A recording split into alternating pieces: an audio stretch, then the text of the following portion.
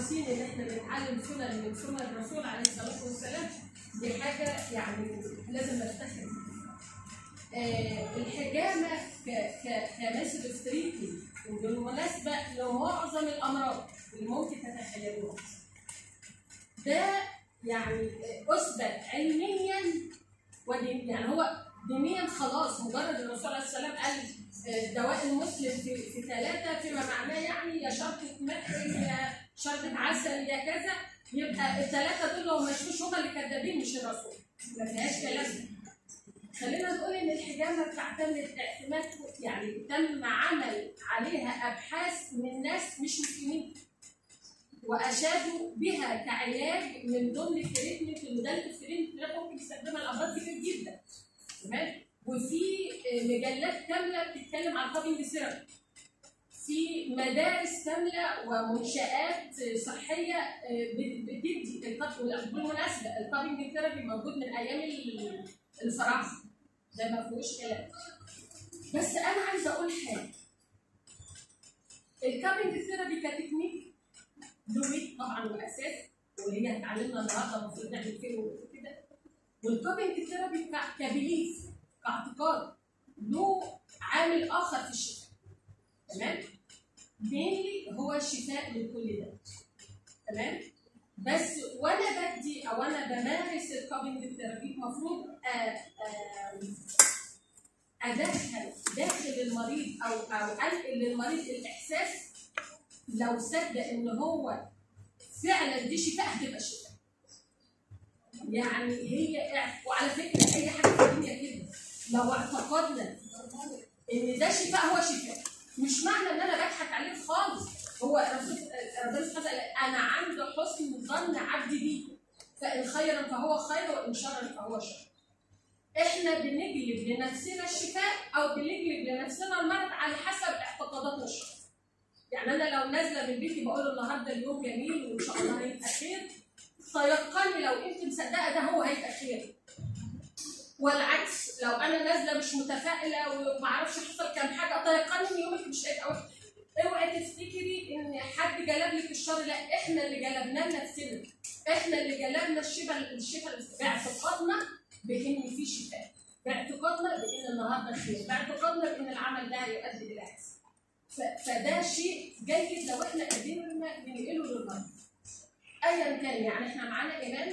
أنا شخصيا كنت مريضة عندها يعني هي عملت لي cupping therapy كم مرة وأنا اتعلمت منها بامان فهي كان later on هتحكي لكم وزين الدورة على تجاربها وأكيد هتشوفوا مع ناس الانسان حاجات أحلى بكتير. أنا شخصيا هبقى مشاركة لكم في الدورة هستأذنكم بس شوية. أروح أخلص شوية حاجات وأكمل معاكم.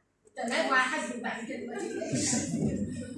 فأنا عايزة ده يبقى ال mastering بتاعته هي حتة إن فعلا انت الحجامة هت- هتأثر فيك والمناسبة هي لها أثر positive على الصحة العامه وده أنا مجرباه شخصيا. وال general well-being عايزاك اسمع بسيط. آه خلاف اللي هي بتبقى شفاء للأمراض. يعني بتحسن من الصحة العامه وقدراتك النفسية وقدراتك الجسدية. لا بتحس إن أنت حد مختلف عن ذي قبل عن حتى لون البشره حتى إحساسك بنفسك حتى موضوع التخسيس وتظبيط الجسم. لا في حاجات كتيرة مفيدة جدا للحجامه beside إن هي شفاء من كل ده فالسنه النهارده معاكم يعني إن شاء الله تبقى موفقه وأتمنى بالفعل إن أنتم تنقلوا الاحساس ده لكل اللي حواليك على فكرة إحنا بنتعلم الحجامة. أنا واحدة من الناس بعمل dry حجامة لنفسي ولولادي بس ما بيجوش في بعض الأحيان مش كمان فيعني مش عارفة اعطيهم للموضوع إلى حد ما الموضوع بيبقى صعب عند الناس اللي هي الدكتور والمرض يعني ما فيش علاج غير الدكتور وهكذا. لكن لا طبعا ما فيش كلام والحديث مثال اللي في الآخر لما نسمعها المفروض خلاص يقينا هي علاج. بس شطارتنا بقى نقنع المريض إن هي بالفعل جات بكل ده وإنها تشفي امراض النحل بإذن الله. بإذن الله. ان لا دواء ولا شفاء إلا بإذن الله إن شاء الله. فأنا معلش بعتذر لكم هطلع اخلص شوية حاجات وارجع تاني. أتمنى لكم إن شاء الله دوره موفقه بإذن الله وتستثمروا وقتكم دوت وتبقوا نواة لنشر هذا العلاج وهذا الفكر في مجتمعاتكم الصغيرة والكبيرة. ربنا يوفقكم. إن شاء الله دوره موفقه الثقة الوقت وقت حضرتك معايا ونستفيد من خبرات بعض ده حاجة كبيرة جدا. إن شاء الله ربنا يجعلها ميزان حسناتنا ان شاء الله يا رب ومش يبقى بس ده في الدنيا لا أنا نبتغي بيه وجه الله عز وجل. نبتغي بيه آه، إن إحنا نيجي يوم القيامة ونقول له يا رسول الله صلى الله عليه وسلم إحنا عملنا على قد ما نقدر على نشر سنتك. على ان ان إحنا ننصرك بالطريقة صح تمام كده؟ فبسم الله والصلاه والسلام على رسول الله أنا اسمي حسام هاشم عثمان اخصائي تمريض آه، خريجه 99 من جامعه الزقازيق آه، بعد ما اتخرجت على طول قعدت ست شهور كده في مصر في في مستشفى كلى مدغام أنا من مدغام متجوزه ومعايا ولد بنت وربنا يا رب يسعدهم الله قعدت ست شهور بس هنا في مصر وبعد كده سافرت قعدت في مكة. قعدت 8 سنين في فقط علمت الحجامة هناك. تمام كده؟ واشتغلتها هناك. اشتغلتها مع دكاترة وجابت نتائج ما شاء الله ممتازة جدا معايا. جيت حوالي 2009 بعد كده دخلت في موضوع الماجستير هنا في كلية التمريض الحمد لله خلصت من الماجستير وخلصت دبلومه مكافحة عدوى جامعة عين شمس. خلصت دبلومه اداره جامعة عين شمس. آه الحمد لله بفضل الله تعالى اخذت دورات كتيرة جدا في في مكافحه العدوى ومن الاسعافات الأولية وحاجات كتيرة. من الكلى الصناعي شغلي أساسا هنا في مبرمج كلى صناعي اشتغلت كلى صناعي اشتغلت عمليات اشتغلت بطنه آه، كنت في السعودية شغالة نساء وولاده آه، فالحمد لله بفضل الله تعالى يعني جيت كملت هنا ماجستير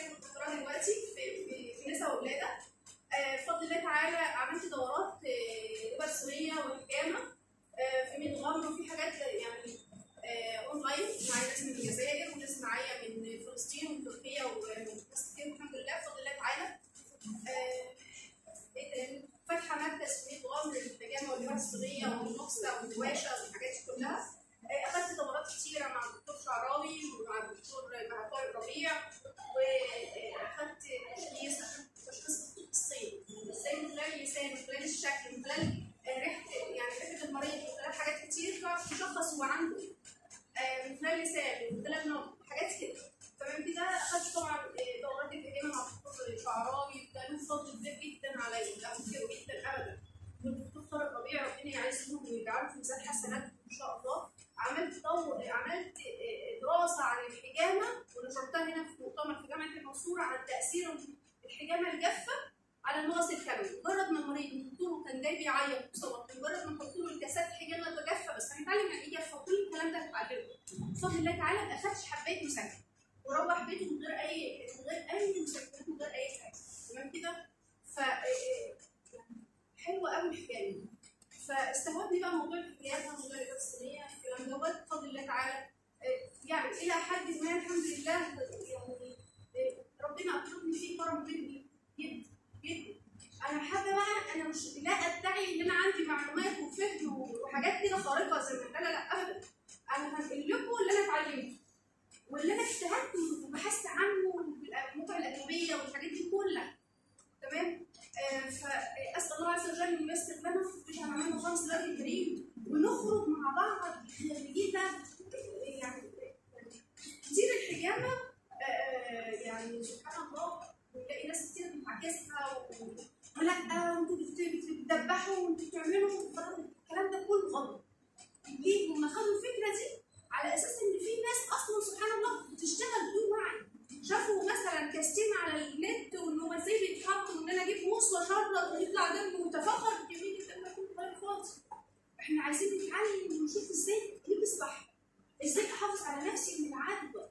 ده, أخطر حاجة يعني هو سلاح ذو حدين ما شاء الله اللهم بارك يعني جبنا نتائج كويسه جدا للمريض بس برضه في نفس الوقت ما تضروش يعني هو أنا خدت من أنا ممكن ما تجيبلوش فيروس تاني. مش كده ما تجيبش لنفسك ما تاخدش العدوى توديها مريض فاهم حاجة عندنا عايزين نتعلم أنا كممرضه شوية آه، بدور على حتة مكافحه العدوى دي مستهوياني قوي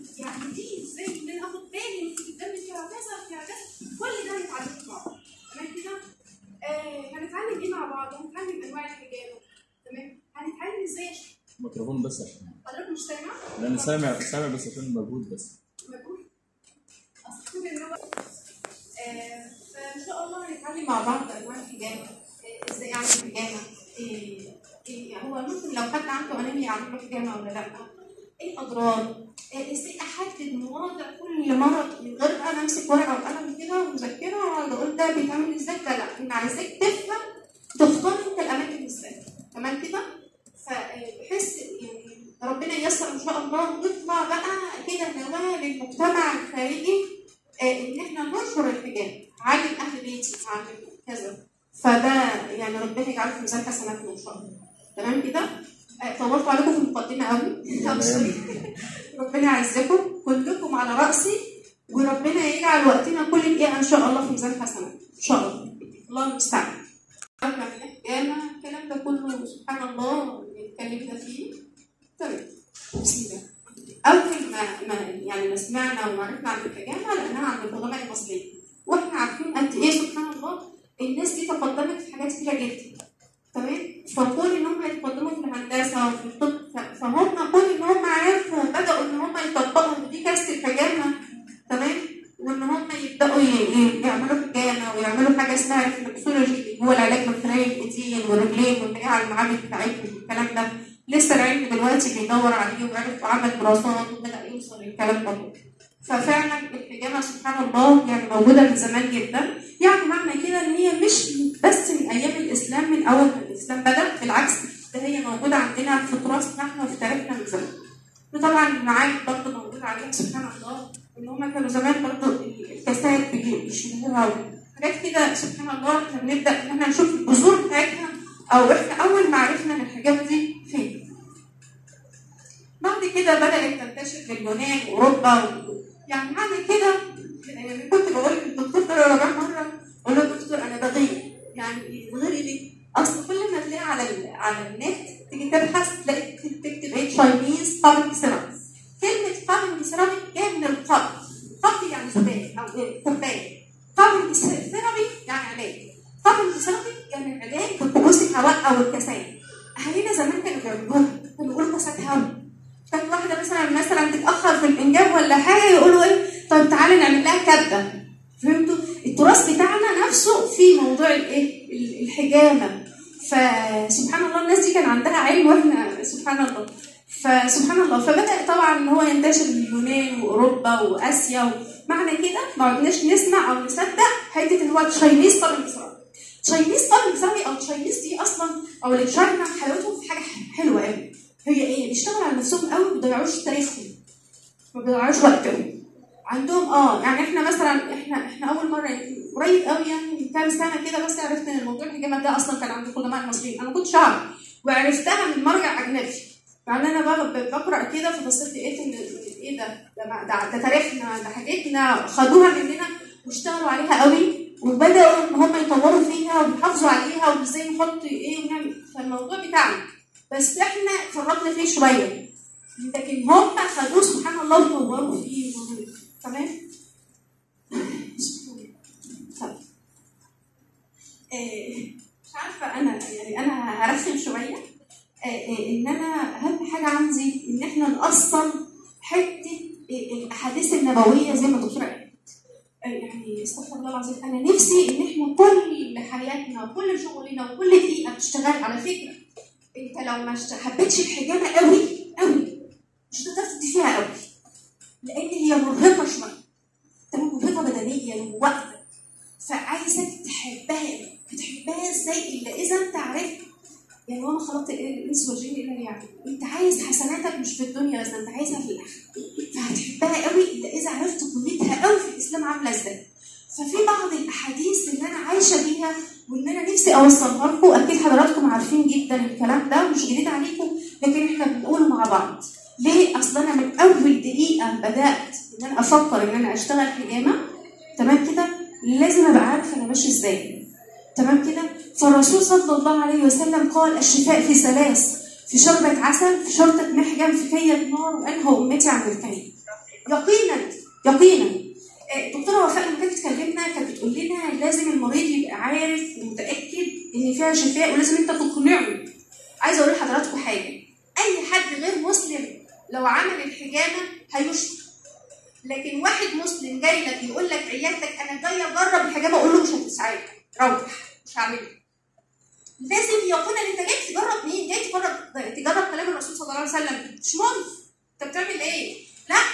ده أنت جاي يقينا من جواك إن الرسول قال كده يبقى صح.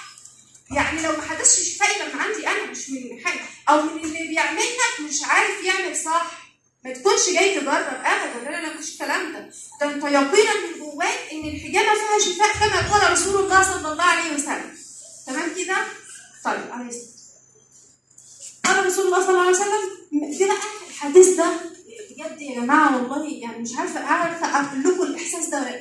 ما مررت بملك يوم أسري بي إلا وقالوا عليك بالحجامة يا محمد.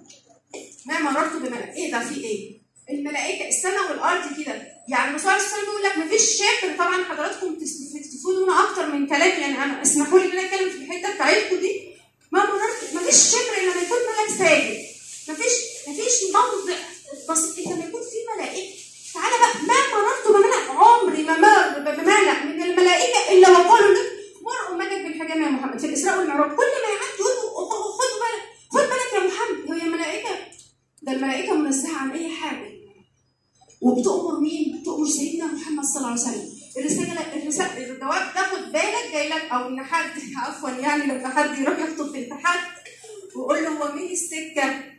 يقول له السكة الراجل الفلاني المحترم ده يعني ولله ولرسوله سبحان الله المثل الأعلى طب خلاص ده أنت وافق عشان خاطر السكة فلان ده إحنا بنقول مين؟ ده الملائكة تقول الرسول صلى الله عليه وسلم لينا إحنا مر أم أمر يعني إيه ده؟ ده أمر من الملائكة لنا على لسان رسول الله صلى الله عليه وسلم. مر أمتك بالحجامة يا محمد. عليك بالحجامة يا محمد. إيه ده؟ يبقى سمعا وطاعا سمعا وطاعا لما كنا بندرس زمان في الإسراء والمعراج الاسراء والمعراج عمرنا ما سمعنا عن موضوع الحجامة ده خالص. كل اللي كان في دماغنا إن هو الرسول صلى الله عليه وسلم راح لحضرة يعني الرب سبحان ربنا سبحانه وتعالى إن هو عشان الصلاة وعشان إن هو يامر بالصلاة وعشان كذا.